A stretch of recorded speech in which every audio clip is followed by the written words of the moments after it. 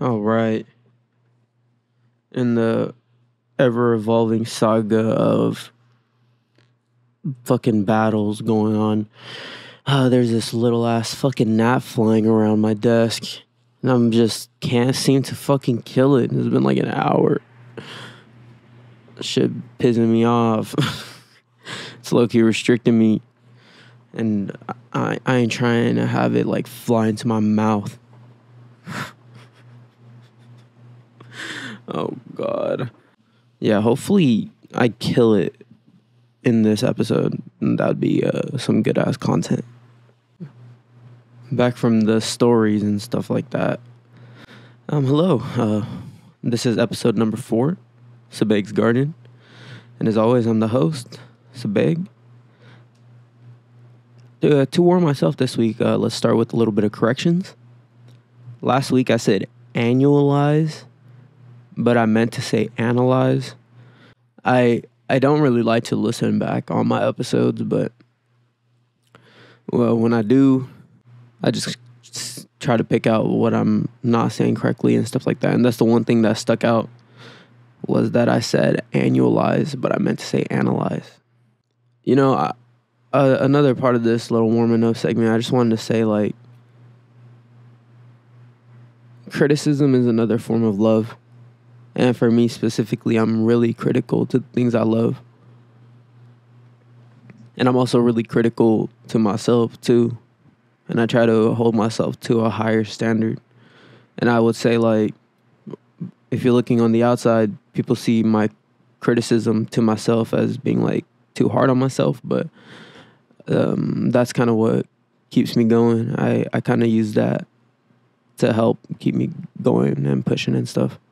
And um, I did just wake up from like a nap and just had a meal, so uh, yeah, it's been a day. Uh, I have um some thoughts on my previous shows. Like I was saying a little bit, I don't really like to listen too much to myself. I, I really actually hate it, especially when I'm editing. I don't really like to do that. And I um and another thing is I feel like the episodes are kind of are are a little bit shorter than I would like, but you know, I have this weird habit of just thinking too much. You know, I just need to get all my thoughts out there without thinking too much about them. All right, but um you know, other than that, let's just get on into what I wanted to talk about in this episode. So this first segment I got is I got I got it titled NFL Chronicles 1. My relationship with the NFL and football, it's kind of uh, started a little later than uh, NBA. Cuz I started really watching NBA back in like 2013, 14. I didn't really start watching football until oh, like 2018. When I was 16, I decided to pick all my teams in all pro sports. Already had basketball down, as you guys know, but it was time for me to choose an MLB and NFL team to really root for. At the time, I was really trying to get into all the sports, so picking the teams in each respective sports was just a natural evolution. Everyone around me was a fan of Bay Area teams, so naturally I just chose the Dodgers and the Rams. The Clippers are in LA, so it just felt right to choose those teams. As I've grown older and wiser, I've just started to realize I love the idea of competition. Sports and sports organizations are a well oiled, complicated machine, but on the outside, they are very simple. Um, they're two entities competing for a win. What I get stuck on is what it takes to win. As consumers, we only really see what we are shown. You know, personally, I've played basketball and volleyball in high schools, but that was a little while ago. And this is a side note, I was pretty fucking trash. But back then, I had no clue what it took to win. It was only until later I realized the main sacrifice is like everyone must be on the same page. You know, from the top of the roster all the way down to the bottom. if some people are only looking at themselves, then it's like pretty hopeless for the team. The collective unit is stronger than the individual pieces. In my opinion, athletes have to look within themselves leave their ego and pride aside, aka like numbers and stats. Honestly, you, you know, y'all might laugh, but I did not learn this idea of being like selfless for the team's success until I got into Siege, Rainbow Six Siege, but you know, that game is for another segment. So I chose the Rams, and honestly, it was just by a chance. They were an LA team. Um, my guy Ethan actually helped me pick out these teams. So if y'all are angry at me for being a Dodgers or Rams fan, he's partially at fault skipping through the years, I sort of kept up with it. But like I said, like I was saying earlier, it wasn't until 2018 I really like cared about the Rams. But in that 2018 season, we were like really dominant. We finished 13 and 3. You know, our receiving corps was great. You know, wide receiver one was Cooper Kupp, of course. But then we have uh, Brandin Cooks at two, and then Robert Woods is three and yeah, like we we had the Ryan Gosling look like himself, Jared Goff. And this is also a side note, but I feel like his time in LA was underappreciated by Rams fans for sure. Because he he did play some gems. And I know that the offense was kind of dumbed down for him because he is kind of like slow with his reads and his um throwing motion is kind of long. It was like he, he needed like really simple reads and stuff like that and i feel like that was his bottleneck. But you know our running game was strong too. Our defense had that good mixture of like bend but don't break that like you always hear. Aaron donald was in his prime but then against the seahawks on november 11th cooper Kupp tears his acl you know, in terms bumping up Brandin Cooks to wide receiver one and Robert Woods is wide receivers two. And um, to be honest, I feel like Todd Gurley kind of fit that like wide receiver three option sometimes. Because he, he he used to be like that switchback where it's like he could play or they might call it wide back now, the position that like Deebo plays.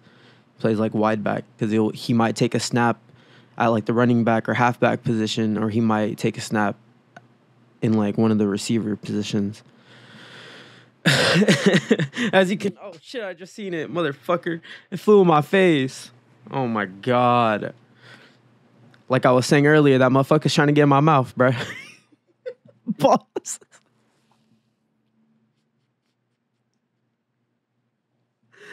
Oh no. Oh lordy. I, I, I totally forgot where I was. Uh, oh shit! Right, that's funny that that happened right when I was talking about Cooper Kupp tearing his ACL. That fucking sucks. Oh my god. Um, but yeah, on against the Seahawks on November 11th in 2018, Cooper Kupp tears his ACL. You know, as a fan, I was absolutely crushed and automatically doubted their success. I feel like I feel like that's how I am, like a like a toxic fan. It's like when something bad happens, I'm like, oh, it's over. It's fucking done. Like, I can't be helped. uh, but they kind of proved me wrong. Even though that season ended in an L, they proved they were almost there. They never stopped fighting. They were a touchdown and a field goal off of winning the Super Bowl. They almost made it. This ties back into last episode with Dave Chappelle saying, I fall, I get up, I stand tall, I fall. You know, that's life. But they never lost faith and nor turned their backs on one another. That's one takeaway we can bring into our own lives is the idea of winning and losing together. So I was gonna say that this idea is hard to learn for people who have never played any pro sports. Nah, I didn't kill it. Oh my god, dude. Okay, this is gonna actually piss me off now. Okay, this this motherfucker is so active right now. Holy shit. Uh, and it's like so small too. I can't really kill it without with like like a I have this little electric like fly killer, but that thing is that thing is way too small. It's not gonna get electrified. dude, this this motherfucker is really active right now. It's like zipping around all over the place.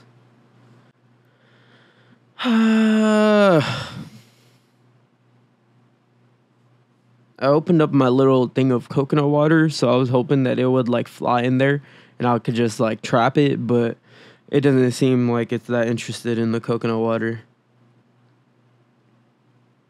Oh god. I don't know if I should cut this out or not to be completely honest. oh my goodness gracious. This I knew this little motherfucker was going to come in this shit it's zipping around. I see it on my screen now. It's gone. Let me just. Okay, I was gonna say that this idea is hard to learn for people who have never played any sports, but I personally know some very selfish dudes who've played sports, so it's not a lesson that everyone learns. Sports in general is a beautiful thing. Seeing the narratives of all over the season, you can get as granular as you want, focus on one player, style of play, or even coach. The NFL season has a, has practically started, and my guy Nathaniel asks me, "What are my AFC and NFC predictions? Championship predictions?" Before I answer this and give my predictions, I'd like to add some context for people who are not into this stuff. You know, the MLB, NBA, NFL, NHL are all leagues, like pro sports leagues. But inside these leagues, they're like split up into two conferences. I fucking got him. He's on my hands right now. Yes, sir. Let's go. Oh my god, that okay, that's awesome. I'm so glad I got this little bitch ass. Okay, I'm going to have to go just wipe my hands now. I will be back. Oh man, I got it. And I swear to God, if another one shows up, I might just lose it.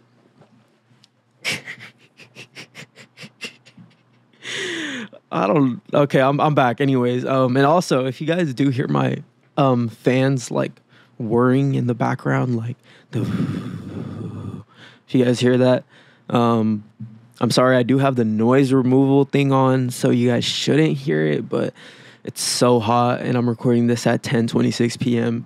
It is so fucking hot right now. Actually, it's like disgusting. So it's 10 it's 10:26 p.m. and it's fucking 80 degrees. Oh lord. Oh my god. It's fucking 80 degrees still. It's ridiculous. I mean, it could be worse. But oh god, dude, the high today is oh god, 102. This is the weather news uh, section of this.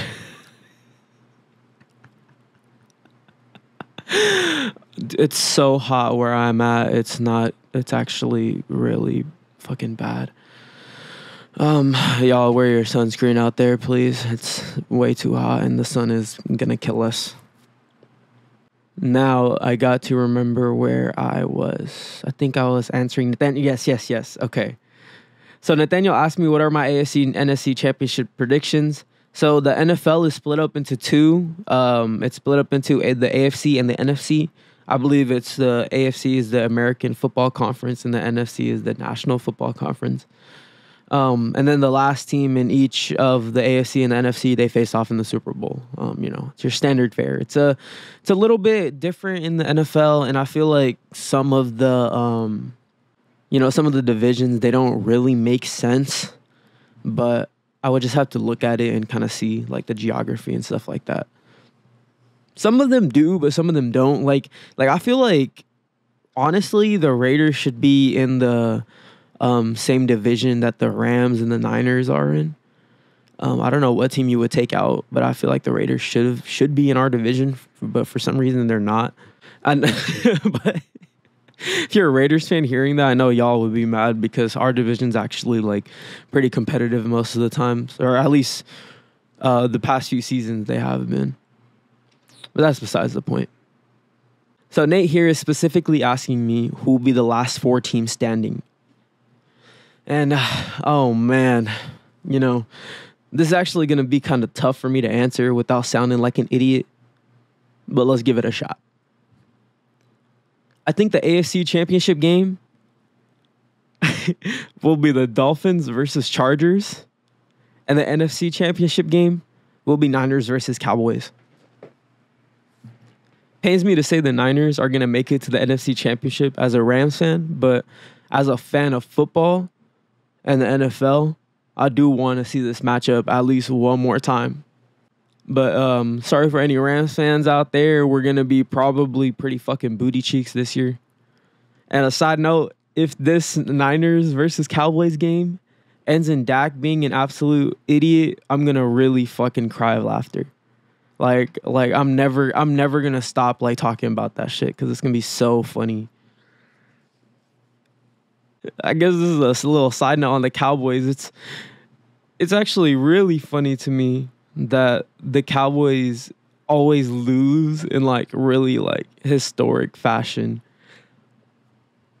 You could even think back to, you know, when Dak was playing with um I forgot what that guy's name is, Tony Romo, I think. Not Dak. Uh fuck. What's that guy's name? Dez, Dez.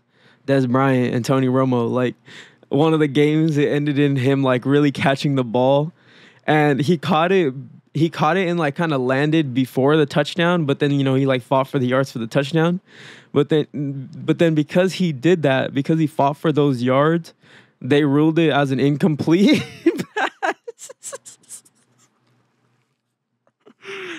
Dude, if any Cowboys fans are hearing this right now, I know they're having PTSD.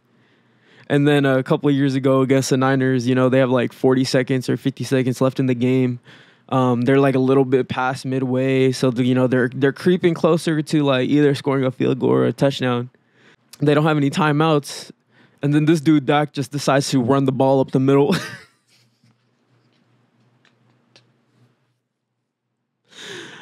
oh man. But yeah, I, I, think I think it's gonna be the Niners versus uh, Cowboys. Like That'd be crazy. So I got Dolphins versus Chargers and uh, Niners versus Cowboys. And um, shout out to Nate for the question. This uh, whole segment pretty much was because of you. So I wanted to talk about the Rams and stuff like that. And by the way, if I if I were to get a Rams jersey, which is actually unfortunate, I don't have one yet. I only actually have one jersey from the from my actual teams, and um, that's a Reggie Jackson jersey. from the Clippers, and he's not even on the Clippers no more. But shout out to Reggie too, because he won a championship. All right. As a little interlude, if you will, I'm going to be talking about a favorite aspect, uh, my favorite aspect of football. You know, I like to look at some things a little bit more closely than other things. Some things to keep an eye on during the game. For football, one thing I like to keep an eye on is the possession game.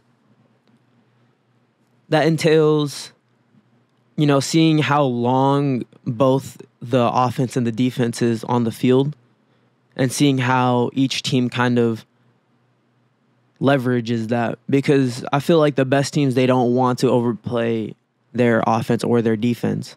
So I, I like to see how that's managed and then the second thing, this kind of goes hand in hand with like the possession game or the time of possession, is turnovers, whether that be by fumbles, picks, incomplete fourth down attempts. You know, great teams try to balance out offense and defense play on the field, so neither side are too gassed. And like I said, the turnovers go hand in hand in that because I've seen one pick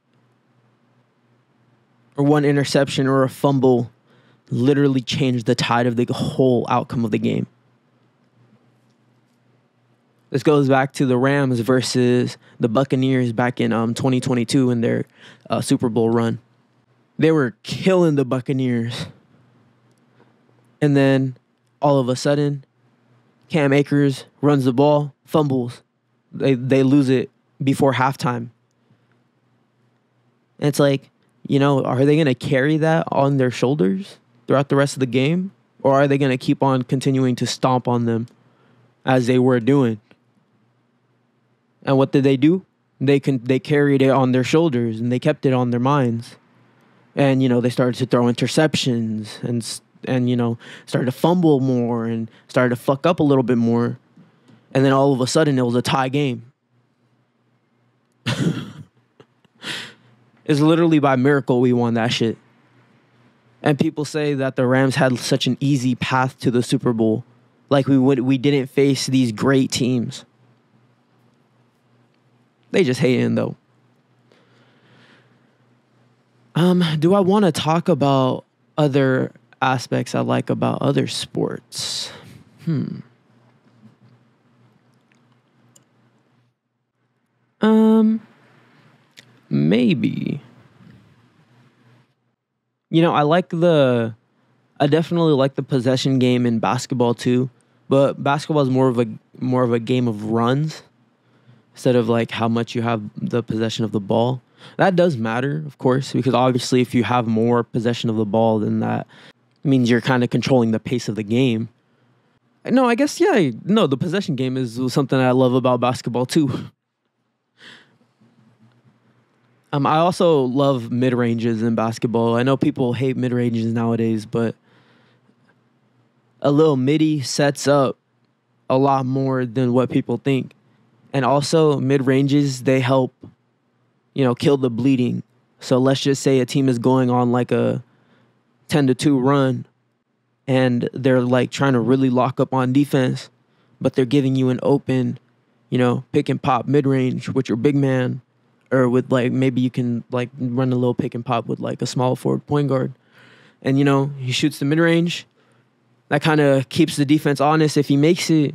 And that leads him to maybe like having more of like a path to the rim the next time he gets the ball. You know, it's it's kind of like a setup move, like the same thing in in baseball. It's like, how are you gonna set up that curveball? Or how are you gonna set up the slider or the circle change? Oh, there's another one. Jesus Christ. This motherfucker came out from the dead. I don't know how that happened. That's actually so annoying. Oh my god, this one's big too. I really be predicting shit. I knew another one was gonna come out from somewhere. That's so gross. All right. So the next segment I'm going to be talking about is we're going to get a little bit more personal. You know, I was talking about the Rams a little bit and how they relate to me and stuff, but I got this segment titled What I've Been Up to. You know, the main thing is I've been playing more of the Switch. And at this point the Switch is kind of an underpowered console. You you can say it's as powerful as like a PlayStation 3 or an Xbox 360. But for me, especially playing it in handheld, you know, I don't notice that lack of performance as much. When playing games in handheld, the magic is still there and it still feels impressive to this day. But then when I dock the Switch and see it on the TV, it kind of loses its charm. Um, so the first game that I was playing on the Switch recently is Octopath Traveler 2. As I was alluding to last week, I did drop this game, but um, I did give it a chance. I grabbed all eight characters and finished all of their chapter ones. And I believe for the wizard Oswald, his his first chapter covers both chapter one and two. So I've played both his, and I think I've even played some of Throne because she was my main character. But you know, I grabbed all the eight characters. At least I did that. And then the combat, it's pretty much just turn based combat. It boils down to targeting enemies' weak points and breaking their guard. Weak points can be elemental based or based on weapons, like AKA swords, bows, axe, and stuff like that. You find these weak points as you attack the enemies. So if you hit them with like a fire attack and they are weak to fire, then it'll show up like on the bottom of um like where their health bar is or whatever. I don't think there's a health bar in the. I don't think there is a health bar in the game, but I think it just shows up at the bottom, like where their name is at or whatever. One takeaway from the game is that the art style is really gorgeous. The devs call it HD 2D, so it has an HD 2D art style, and to me, it feels very cozy. And that's the main word that I would like to say for this game is it feels very cozy, and I've kind of had it described as like a like pixel art um, portraits and panels. So it's, it's, it's a really beautiful looking game. A con that I have for the game is I wish that the characters uh, had a deeper connection with each other. each of the main characters and their stories are kind of to themselves. They don't really involve other characters that much. Like you might have dialogue in battles and stuff like that mentioning characters. And I believe I got to a point where I had a paths crossed mission, but I ended up not doing that one. And at the end of the day, it kind of just wasn't what I was really looking for. And for some reason, while I was playing it, I kind of just felt like uh, getting into ba- getting back into Final Fantasy 14, and that's that's an MMO. If you guys don't know what that is, massively multiplayer online game.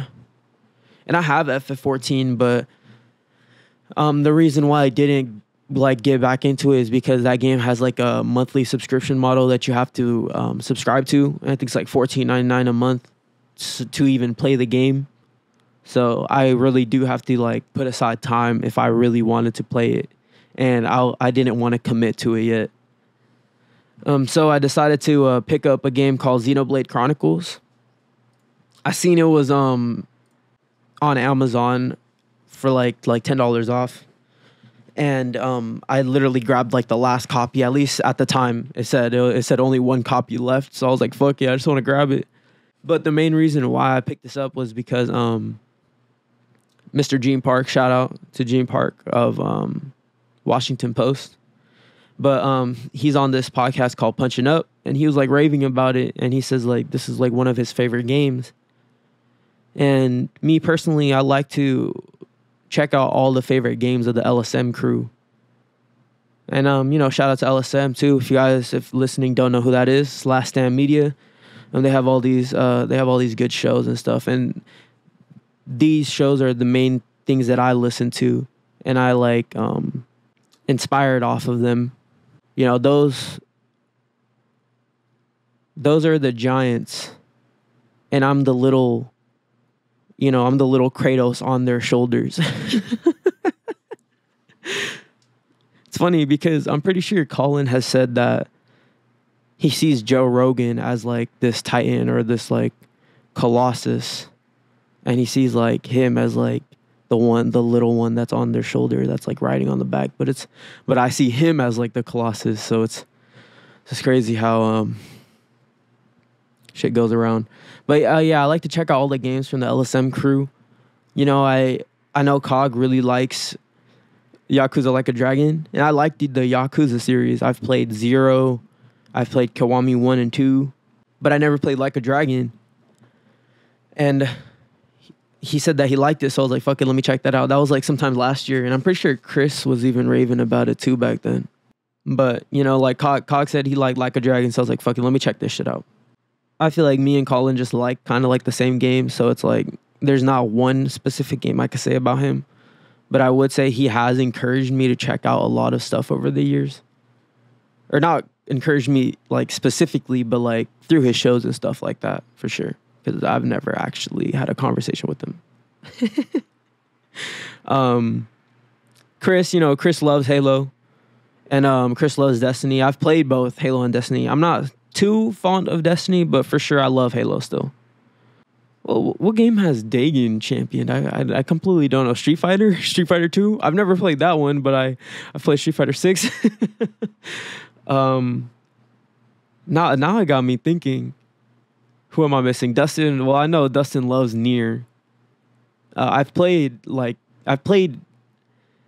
So NieR split up into three sections, right? There's two B, then there's the guy, and then there's two S or some shit like that.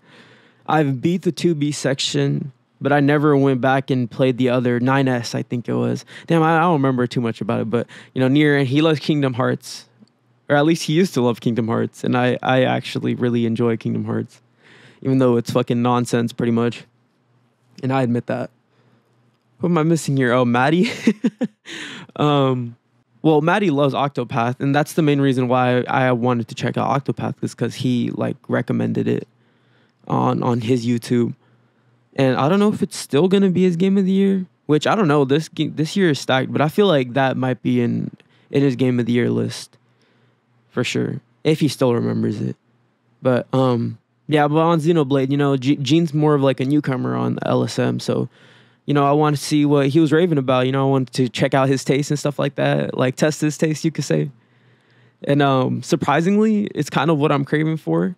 Like I was saying earlier, I wanted to get back into FF14, so I kind of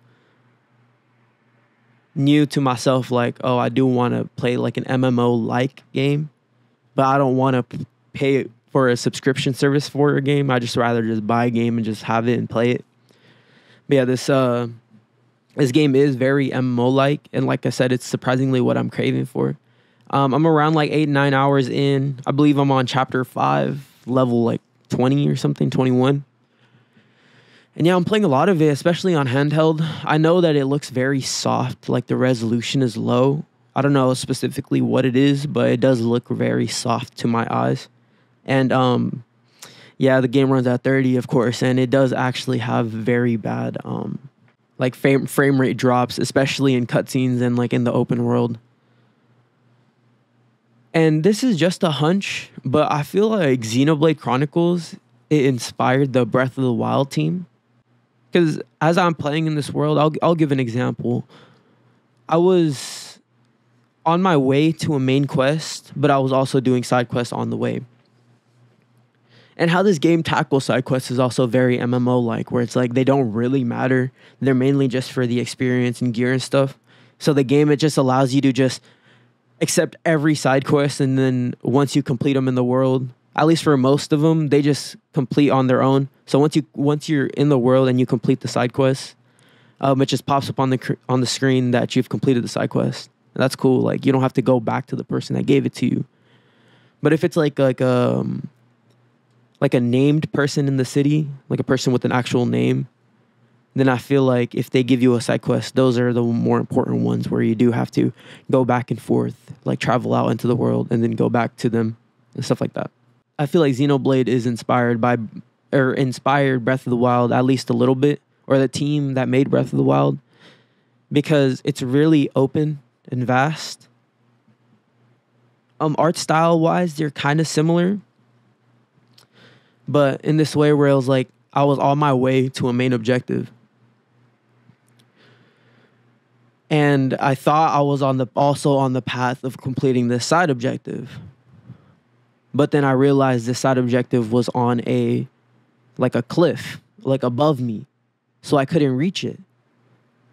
And in the game there are vines that you could climb up and stuff. So I was like, let me start looking for it. Maybe there's some around here so I can get up there. And there wasn't. So I was like, you know, maybe that's a that's a way that the Breath of the Wild team like looked. It's like, like oh, like at this point, we could climb this, and that's why I also really do like Breath of the Wild and Tears of the Kingdom because they have this idea of just being like open and being able to do that. Like you don't need the game to have like a vine right here that you can climb and only that thing to climb. You could just climb up the surface of this rock or the surface of this cliff. But that's just a hunch though. Playing both Octopath Traveler and Xenoblade Chronicles, I feel like this might sound weird, but it's like they kind of feel like the Pokemon games I've never played in a weird way.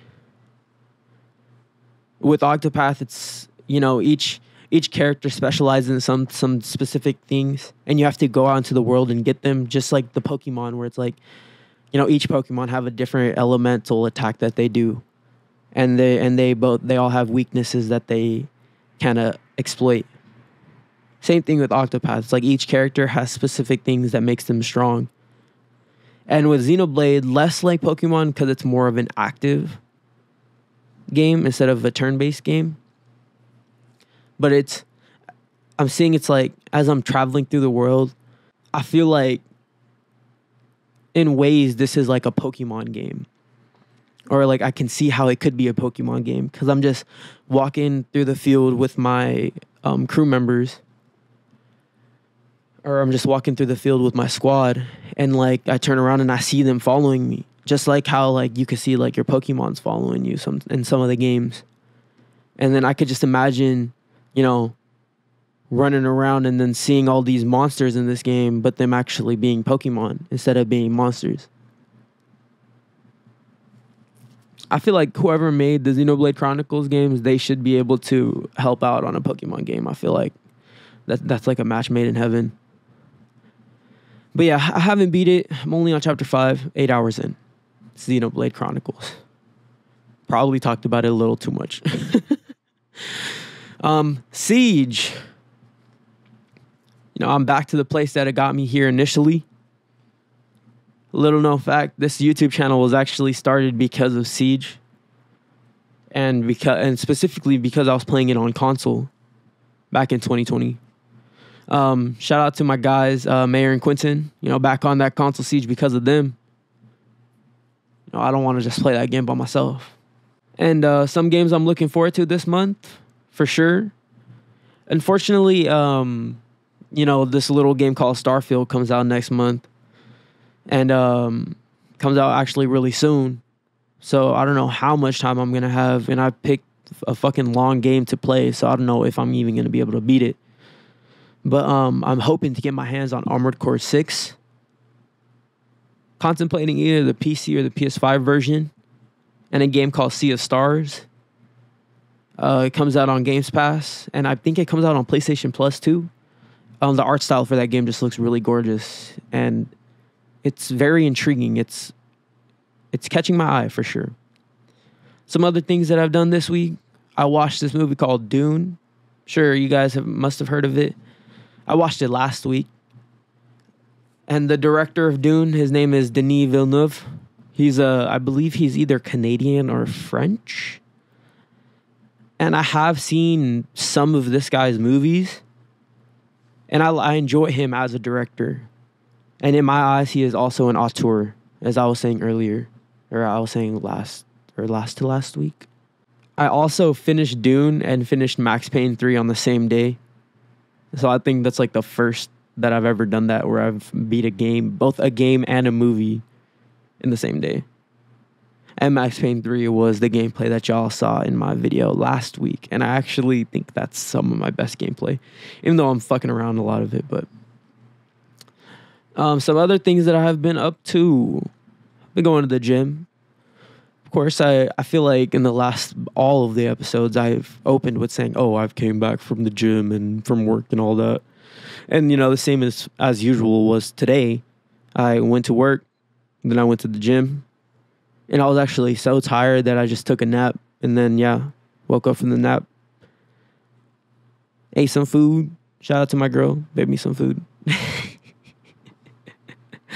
um, but yeah, I've been going to the gym. I've kind of switched my approach. I was doing like you know heavy weightlifting first instead of you know working on conditioning in my body and stuff like that, working on being explosive. So I'm kind of switching to like a more cardio based where I'm still having my lift days, but I really want to push my uh, explosiveness. Seeing this fly flying around again. At the end of the day, I'm just trying to build my endurance. So, yeah, that's what I've been up to. All right, we're moving to the end of the show. And I just wanted to kind of pose a question you know, I, I kind of like to leave you guys thinking a little bit. Pulling up something on my computer that I forgot to earlier. Oh, God. Okay, let me make this a little bigger. The telephony.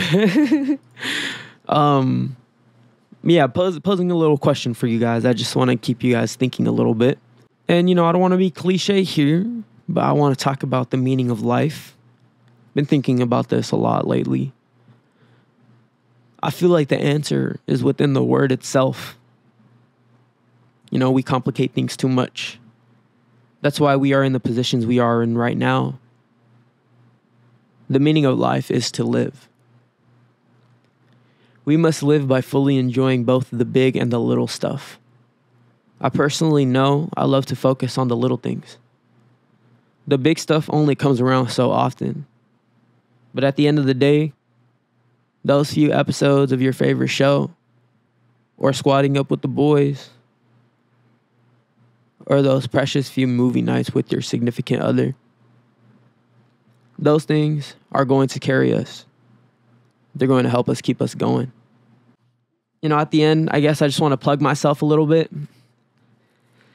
I have this YouTube channel, as you guys know, Subagels, youtube.com slash Subagels. I also have a Patreon, so if you guys would like to um, support me financially, if you want to, it's uh, patreon.com slash Subagels. I'm on there. Um, I'm also on Discord. So if you join the Patreon, you get to join my Discord. Um, you guys can also uh, DM me or uh, follow me on my socials and Instagrams and all that.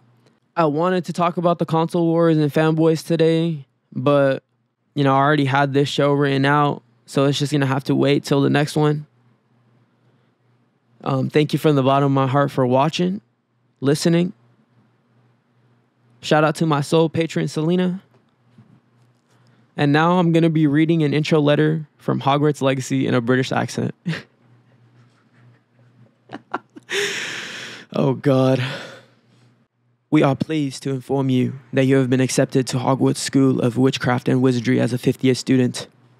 Terms begin on 1st of September. Preliminary supplies have been collected for you and will accompany you on your journey to the castle. As you may be aware, the decree of reasonable restrictions of underage sorcery prohibits the use of magic by those of the. this is a long ass sentence. Reasonable restrictions of underage sorcery prohibit the use of magic by those under the age of 17 outside school. However, due to your unique circumstances, the ministry has graciously agreed to allow Professor Elazar Fig to help you hone your spell casting before escorting you from London to the castle for the start of the feast and the sorting ceremony. Yours sincerely, Professor Weasley. I don't know. Y'all can judge that. All right. Peace out, guys.